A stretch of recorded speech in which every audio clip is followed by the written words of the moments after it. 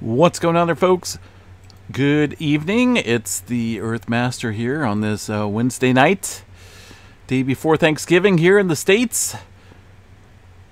November 23rd, 2022. It's about 9.50 and 9.50 p.m. California time. Latest quake shows a 2.0 over here around Puerto Rico. Notice a significant swarm going on there uh, as we speak there in the Puerto Rico area. Let's go ahead and check this out. Got quite a bit of earthquake activity ramping up here. Over the last 24 hours around our swarming area, uh, very typical around this region. Um, a lot of times we do see that activity kick up here. Nothing going on across the Puerto Rico Trench uh, or other areas around the Caribbean plate. We had one earthquake off the coast of Nicaragua earlier, um, late last night. Looks like a 4.8 coming in. All right, let's go ahead and check out the states here, see what we got. Uh, I'm still leaving up the earthquake watch here for the California region. Still seeing some activity ramping up in a swarm fashion here off the Elsinore fault system down here uh, in Southern California. Also up north around the Riverside area around Loma Linda, seeing some movement with a 1.4 within the last hour.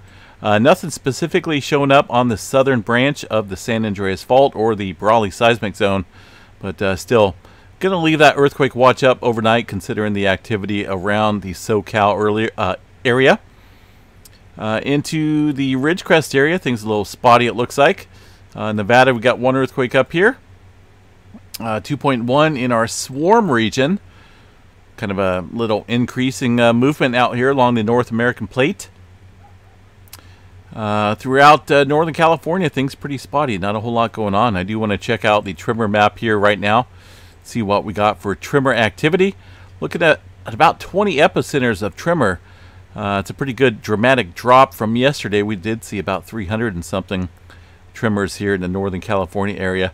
No further earthquake movement. Uh, I was kind of expecting some type of earthquake activity up here in Northern California, considering that tremor movement, but uh, so far we have not seen that. Uh, into the Washington area, Mount Rainier still showing some activity up here right at the summit. Looks like a 0.8, the largest earthquake there, 0.8. Let's go ahead and check out the Mount Rainier uh, seismograph station here real quick in Washington, see what we have up here. Uh, although this activity over the last day has been more situated here at the summit, uh, that little swarming area was centered off northeast here of the uh, of the uh, volcano. The latest activity here still shows some small microquakes over the last couple hours. And with the last uh, UTC time here looking somewhat active as well here in the microquake department there at Mount Rainier. Uh, throughout areas of the Intermountain West region, watching a little line of activity stretching up towards Yellowstone. You can kind of see that uh, the movement there up against the mountain ranges, pretty obvious there throughout Utah and up into portions of Wyoming. Uh, Yellowstone National Park not showing a whole lot of activity here, but we will check this out and see what we got for the latest data. And uh, this is a little slow. This guy's got looks like a little slow DNS server. It used to be pretty quick. But uh, either way, I'm just kind of glad it's up. No major earthquake activity, just a couple small microquakes here on the map over the last couple hours. All right, let's see what we got here across the region. Alaska still seeing some movement and getting a little cluster of quakes here uh, throughout the Kuril Kamchatka Trench, 101 kilometers deep for that 4.9. Still watching this area for potential movement. Uh, also here in Alaska, over here, um, I know it looks a little calm right now, but I'm still expecting possibly something to brew up here along the Aleutian Trench pretty soon. It's been all too quiet.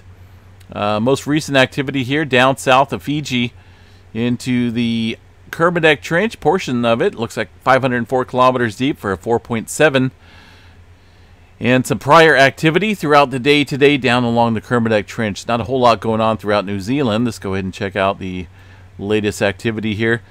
Uh, looks like there's some deeper movement quakes there. Uh, maybe not necessarily showing up on the USGS map uh, along the Kermadec Trench. A little swarm of activity into the Indonesia region. Also some activity there in the Java Trench. Let me see what we got here uh, for activity around the Java Trench region. Looks like a 5.1 coming in there. And some other activity uh, further to the southeast. This area does see Uh, quite a bit of slip rate built up in a short amount of time. So um, this area down here really hasn't seen a whole lot of adjustment recently. Of course, we had that uh, uh, somewhat larger quake over here. Oh, over the last uh, couple days, uh, 6.9 into the Java Trench area. But uh, down here in this area, kind of a seismic gap zone right now. Kind of waiting for some activity uh, to kick up there in that region. Up north, north of the uh, Norwegian basin up here, we got uh, outside of the Jan Mayen area. 4.9, the latest earthquake here earlier this afternoon time frame. A couple earthquakes along the divergent boundary up here uh, near the Greenland Sea. Uh, South Sandwich Islands area did see some activity late last night. Not a whole lot uh, further activity tonight, though. Uh, the big island of Hawaii, what do we got here for movement? Not a whole lot. Only got about 11 earthquakes around the Mauna Loa and the Pahala area. Not a whole lot of significant swarming going on tonight there in that area. Um, let's see. All right, I'm going to make this just a quick update, folks. I need to get a bunch of stuff done here. Uh, latest activity here across the solar weather plane uh, looks pretty quiet. Green across the board. Uh, no major solar weather events expected. And the solar sunspots here on the sun are looking uh, looking like they are not doing much. That's a sad story, unfortunately. Uh, there's some sunspots. It's active, but there's not a lot of instability with these magnetic fields with the sunspots. So um, I have to say, if anything, maybe, maybe, maybe. Oh man, I don't even know if I were to go out on a limb here. Maybe this uh, area right here may see another C flare, but uh, the rest of the sunspots there look pretty minimal um, right now. So things have kind of died off in the solar flare department. Only a 45% chance of a C flare, 10% for the M flare, and uh, of course less than that for the X flare and proton events. Not a whole lot going on, folks. Maybe one day we'll get a pretty significant flare going on here in a subsequent CME. But far as the Earth side goes, things are pretty calm, pretty mellow right now across the chart. All right, folks, have a good night. Stay safe out there. And uh, like I said, just want to get a quick update in. And uh, we'll talk to you guys sometime tomorrow. Happy Thanksgiving out there to those who celebrate the uh, American holiday out here. Probably going to do my Thanksgiving on Friday. Got some other stuff going on tomorrow. So we'll catch you guys tomorrow. Either way, have a good night.